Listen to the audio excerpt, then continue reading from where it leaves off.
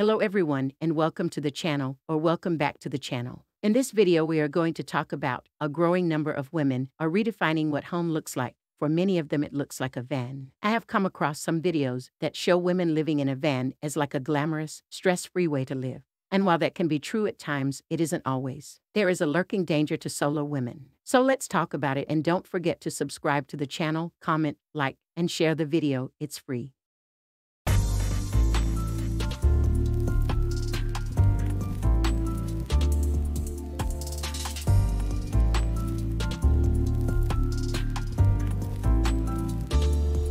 The trend to hashtag van life is fueled by the declining affordability of homes, rental shortages in urban centers and resort communities, and by a shift in our definition of community from physical neighborhood to online social networks. Over the past few years, a new wave of young solo van life travelers have packed up their lives and hit the road to explore the country or to avoid paying these exorbitant rent prices. For a myriad of reasons, more black women than ever before are ditching the status quo to live on the road. A search of the popular hashtag vanlife Instagram tag turns up a mind boggling 9 million posts, up more than 450% from 2017's humble million and some. Facebook subgroups range in subject from solo female van life, an itinerant cooking inspiration, to van life centric dating and love. Apart from the flexibility a nomadic lifestyle allows, associated ideals of minimalism and financial freedom have turned many onto the trend in recent years. Student loan debt in the U.S. has more than doubled over the past decade. In 2024, the Federal Reserve estimated that it surpassed $1.6 trillion, and meanwhile, the median housing price is increasing by about 15% per year. One 2020move.org survey found that 72% of participants were willing to trade their homes for a van to pay off debt. A third of them said they'd commit to the lifestyle for at least two years. There is no doubt that when you are traveling or living in a vehicle, you are more vulnerable and can seem like more of a target, especially when you are in sketchy areas or unfamiliar territory. There are very different understandings of this choice of residence depending on which side of the steering wheel you're on. But understanding the experiences of van dwellers is important not just for those looking to cut their ties to rents and mortgages, but also for community planners and employers. They see van dwelling as a source of freedom from mortgages, rent, utilities, and the possessions that come with traditional dwelling places. And while it looks like a dream from the outside, life on the road for solo female travelers can be daunting, and many of them have taken extreme precautions to ensure they stay and feel safe on their travels. So many people see the gorgeous hashtag van life photos and think living in a van is all about sunsets, cooking outside, and swimming in the ocean. But what you don't see is the mosquitoes, hot and sweaty nights, as well as the constant struggles of living in such a small space and the dangers. In case you ever considered living in a van for yourself, you'll want to watch this video first, as I reveal the truth about living in a van. These are the pros and cons, as well as just general things to be aware of when it comes to van life. A solo woman living out of a van was left terrified when a man drove up to her vehicle under the guise of being a good Samaritan to warn her that another man was supposedly watching her with binoculars from a distance. Alyssa had been parked in a remote spot on government owned land outside of Tucson, Arizona, when a stranger drove up in an all terrain vehicle and struck up a conversation. Out of nowhere, the man's ATV could be heard, growing louder in the footage shot by Alyssa for her YouTube channel before he pulled up to her van, parked, and asked her if she was doing okay. To this, Alyssa responded that she was. Alyssa then asked him if he was a park ranger. The man responded that he wasn't, but said he lived close by and claimed that he regularly drove around the area to offer campers water. The man also peppered her with questions about what she does for a living and how long she'd been on the road.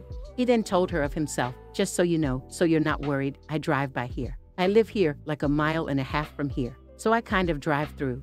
When I'm here, just checking on people, making sure they got water, got what they need. So if you do stay, I'll see you again. But that's all I'm doing. Nothing spooky, he said to Alyssa, seemingly in an attempt to reassure her he was a non threatening presence at the campground. Before driving off, he went on another tangent about how he'd had things stolen from his house previously, and after that started making myself open to people that were out here, giving them my name so they knew who I was, so they saw my face. He then said that she would be welcome to come by his house and use his shower. After three and a half minutes, he finally pulled away, only for Alyssa to realize he still wasn't totally gone, as she could still hear the muffled sounds of his motor not far off. And, indeed, to Alyssa's intense discomfort, some minutes later, the man came back. And, on his second visit to Alyssa of the afternoon, he took a different approach, one even more riddled with red flags. Hi. So, you have a guy on the mountain up there that is watching you with binoculars, the man declared from the driver's seat of his ATV. Well, that's unnerving. I guess I won't be staying. Alyssa answered warily. She'd been sitting in the back of her van, folding laundry, and was now speaking to the stranger through its open side door. Well, it's not that you can't stay. I'll be honest with you, the other side of the mountain is safer, the man offered. He's driving an older Dodge pickup and he told me that he comes out here and offers water to people, but I would stay away from him. He told me he parks up there and looks around to see who might need water, who might need this, who might need that.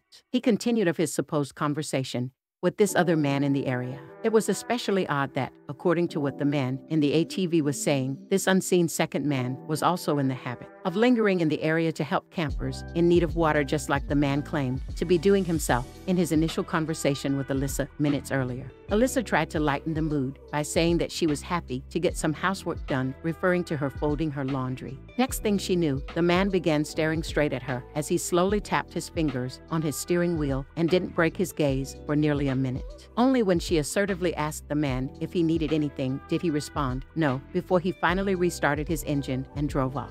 Alyssa then shared an on screen text as soon as he was out of sight. I grabbed my solar panels and power bank, threw everything in the van, and drove as far away from the area as possible. Alyssa eventually parked in a parking lot where she addressed the incident on camera. I was sensing some red flags, Alyssa said of her reaction to the man's first visit, adding that as soon as he'd driven away for the first time, she'd already been planning to hightail it out of there. I just went with my instinct and I was going to leave because he said that he drives around, seeing if anyone needs water. But he had no water with him. That was weird, she said. Something else that gets me with people is over explaining. When I asked him if he was a ranger, and he said no. He said he does this because a few years ago, someone stole stuff from his house, which has nothing to do with giving people water in the desert, Alyssa further reflected.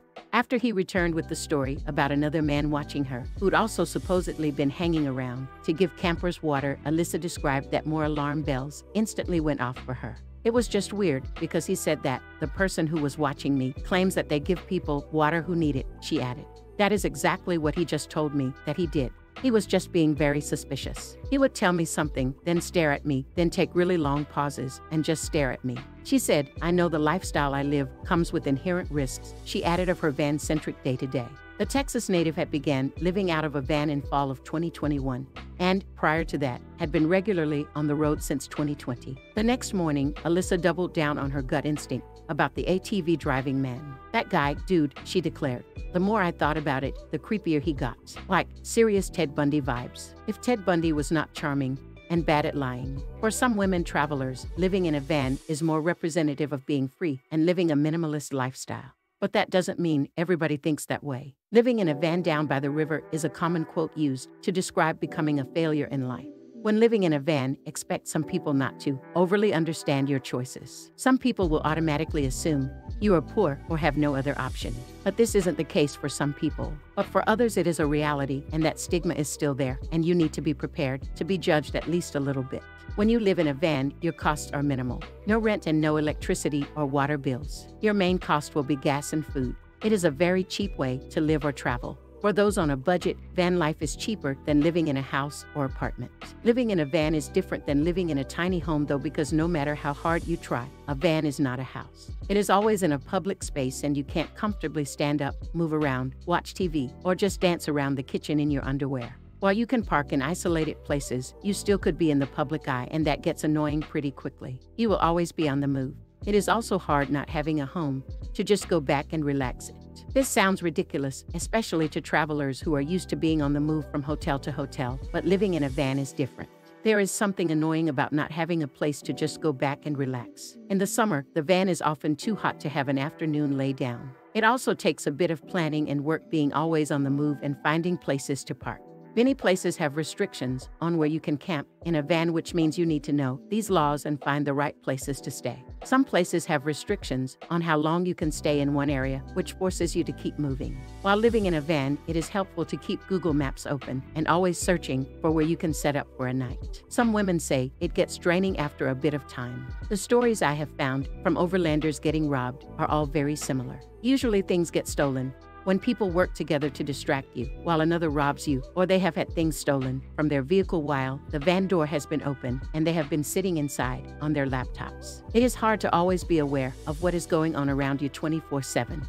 But if you are in a crowded place or people are approaching you in your van, keep your eyes on your gear and don't leave stuff hanging around or on your vehicle. It would be easy to overlook the hardships of living in a van when much of the media surrounding it paints the lifestyle in a glamorous light.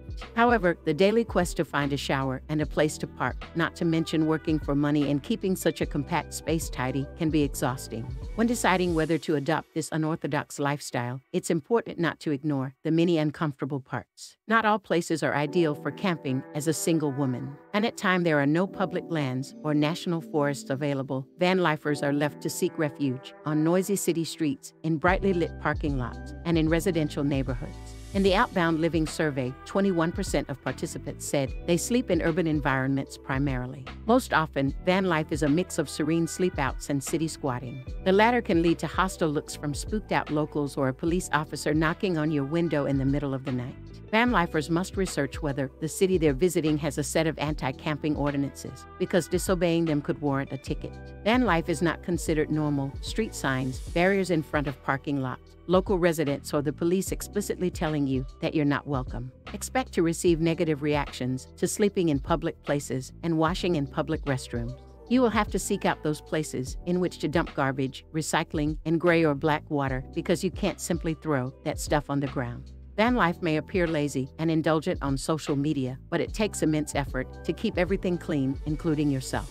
The Outbound Living study revealed that 28% of van lifers shower at the gym, 21% use built in van showers, 20% use campsite facilities, and a combined 13% said they bathe in nature with baby wipes or at the beach. Living in a van means spending most of your time in public places. Whether you're showering at the gym, brushing your teeth at a rest stop, making coffee in a parking lot, or sleeping under a street lamp, you mostly waive your right to privacy. Anyone can knock on your door or peek into your home unannounced, and rest assured they will. Blackout window covers can help, not just with privacy, but also with providing insulation during the winter. As a woman, you have to always be aware of your surroundings. So I hope you found this video helpful. If you did, leave a like and a comment. And if it is your first time on the channel, don't forget to subscribe, comment, like, and share the video. Until next time.